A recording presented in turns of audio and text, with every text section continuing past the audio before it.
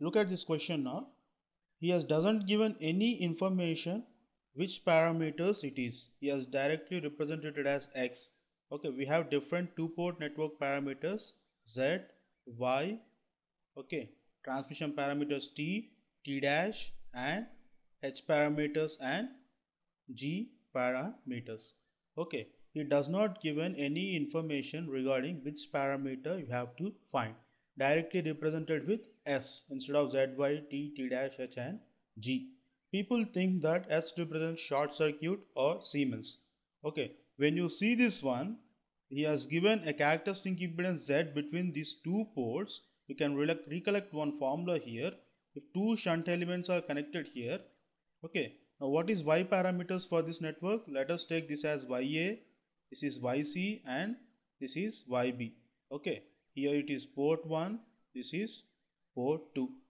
Okay, now if you find y parameters one for this type of networks, this is ya plus yc minus yc minus yc and yb plus yc. You can note down this as a shortcut formula for y parameters.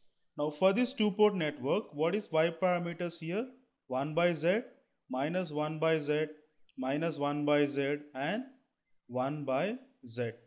Okay, if you look at this one here you cannot find z parameters since z is equal to y inverse. Okay you cannot find z parameters because determinant of y is equal to infinity. Okay so z parameters you cannot find. This is not short circuit parameters. And if you see the relations none of them is satisfying here y relations. Okay none of them are satisfying here y parameters so relations. This is not y parameters Siemens. Now you take it as t parameters. If you find t parameters one this is just like a short transmission line. Okay t parameters is nothing but an abcd parameters which is equal to 1z01 okay you cannot find similarly h and g parameters. Okay you can calculate it. H and g means v1 i2 is equal to H11, H12 and H21, H22 into I1, V2. Okay, write the relations and you can find that H parameters and G parameters also cannot be found. So, what is this one? T parameters is equal to 1Z01. Okay, take it this one as S11, this as S12, this is S21 and this is S22 and observe the relations there. Okay, S12 is equal to option A. S12 is equal to 1 plus S11. Okay, option A is wrong.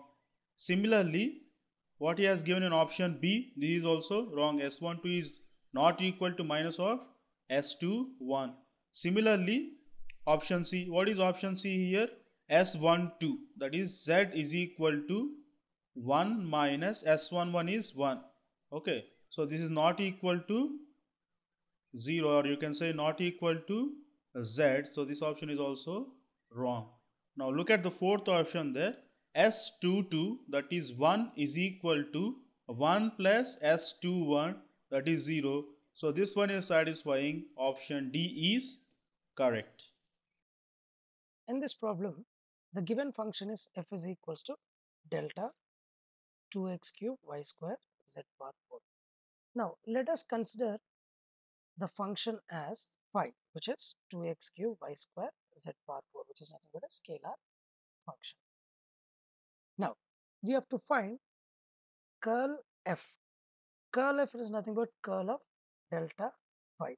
Now we also know that curl delta phi is nothing but del cross del phi which will be always equals to 0 for any scalar function phi.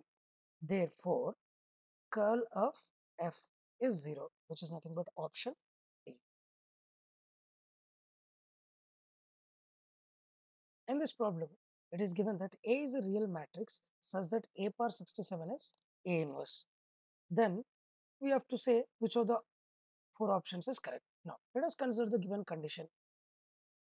Consider the given condition which is A power 67 is equals to A inverse.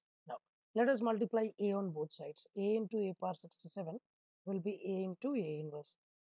This can be written as a power 68 is equals to i since i is nothing but a into a inverse or a inverse into a. Now, if a power 68 is i, then mod a power 68 will be mod a will be equals to plus or minus 1. That implies modulus of a is nothing but magnitude plus or minus 1, which is option A.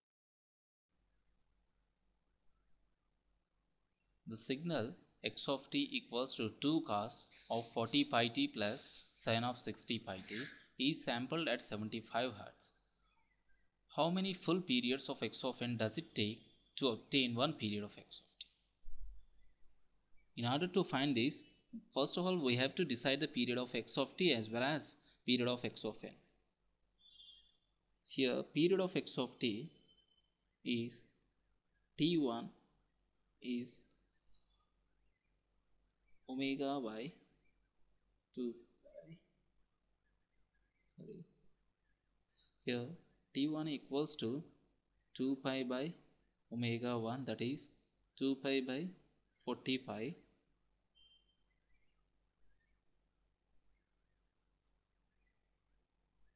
one by 20 t2 equals to 2 pi by omega 2 65 that is 1 by 30 the total period t is, is nothing but LCM of 20 30 which is equals to 60 the period of x of t equals to 60 the period of x of n is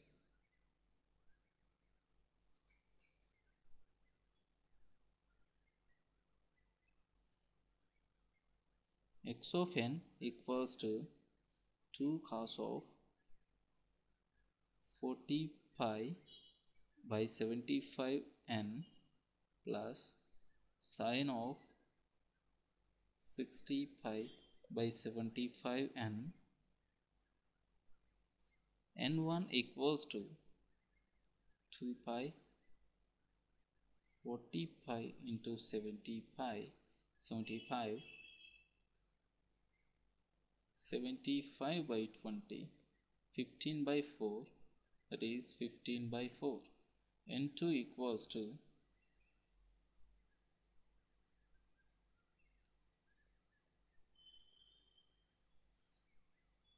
2 pi i 60 pi into 75 75 by 30 k. That is 5 15 ja 5 6 ja. That is equals to 15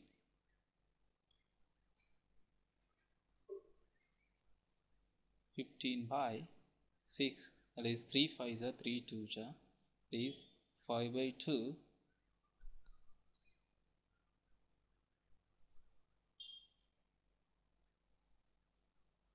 here n1 by n2 gives 3 by 1 hence 3 and 2 equals to n1 equals to 1 which is 15 hence option D is correct